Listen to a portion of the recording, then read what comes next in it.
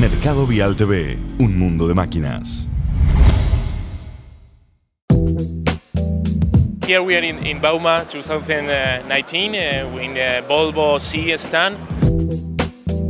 These are compact machines, uh, extremely, I would say, suitable for urban application.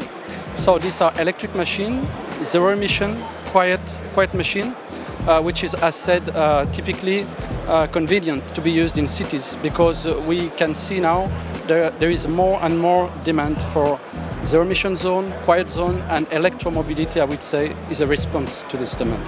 It's made in such a way that you can plug the machine to a domestic grid so that you can uh, recharge the, uh, the, the batteries. And we're also working in offering what we call a fast charging solution so that in, in one hour you can recover the 80% of the battery charge.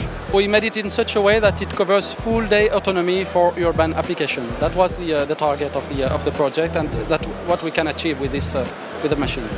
What about the batteries? Because every customer is supposed to be asking, uh, how, what, about the lifetime? Yeah, yeah, yeah it, the lifetime, it all depends of the duty cycle. And so we made it in such a way that the lifetime of the battery, we are using latest technology of lithium ion battery, and we made it in such a way that the battery can last for the uh, machine entire life.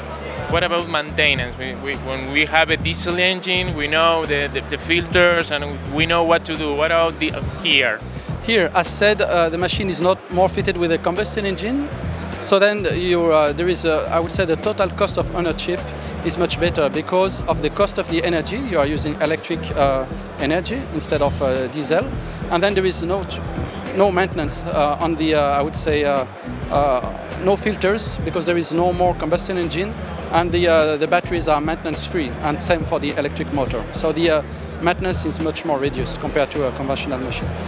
This machine is made in such a way that we are operating in 48 volts.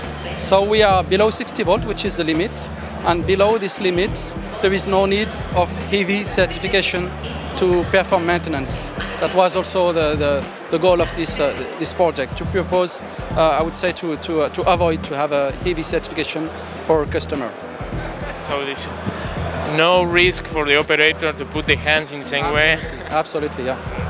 We are working on several projects. You, you have seen the, the, those two machines, uh, compact machines, but we are also working in a concept lab. Maybe you have seen outside there is a autonomous, um, I would say, uh, battery-powered, um, uh, like uh, job uh, site, yeah. yeah, job site for the electric site, where the aim is to uh, electrify, um, I would say, a, part of the um, quarry uh, to reduce by 95% the uh, to cut by 95% the uh, emissions, and also uh, I would say to um, to make it in such a way that the total cost of ownership will be uh, will benefit to the, the customer.